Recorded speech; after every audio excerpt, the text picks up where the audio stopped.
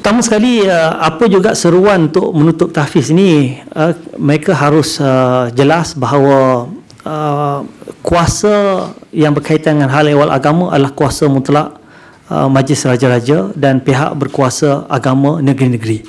Apa juga keputusan mereka harus merujuk kepada majlis raja-raja kerana institusi tahfiz ini berdaftar di peringkat majlis agama Islam negeri-negeri dan juga jabatan agama Islam negeri-negeri.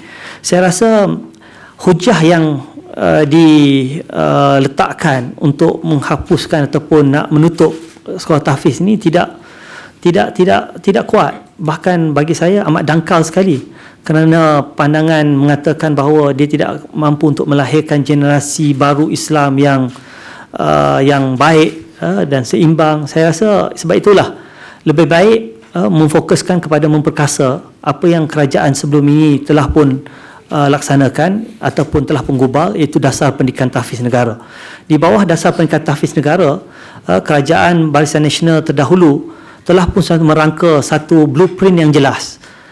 Siap bagaimanakah generasi tahfiz yang ingin kita bina generasi hufaz generasi penghafaz Al-Quran yang bukan saja menghafaz 30 juzuk Al-Quran tetapi mereka juga mempunyai keupayaan menguasai pelbagai disiplin ilmu dan mempunyai uh, kemahiran dalam pelbagai uh, aspek uh, teknikal dan juga vocational mengikut kecenderungan uh, dan keupayaan pelajar itu. Sebab itu di bawah dasar peringkat tahfiz negara dulu kita ada uh, pelbagai aliran. Ada aliran profesional, ada aliran uh, agama, ada aliran vocational uh, yang mana hasrat kerajaan Barisan Nasional terdahulu melalui dasar peringkat tahfiz negara kita tidak mahu adanya drop out uh, daripada sistem pendidikan negara uh, di kalangan mereka yang masuk dalam arus tahfiz. Dan yang kedua, kita nak pelajar-pelajar tahfiz ini juga dapat mampu menyumbang kepada pembinaan negara bangsa pada masa akan datang. Dan bagaimana mereka boleh menyumbang?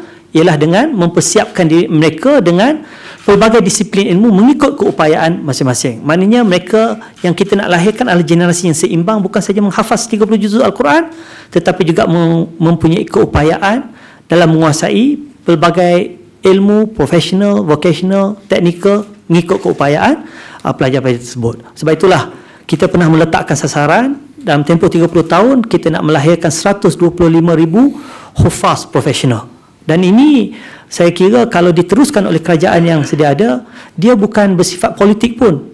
Kalau kerajaan yang ada hari ini nak mengambil mileage pun tidak ada masalah kerana bukan ini above partisan, ini above politik.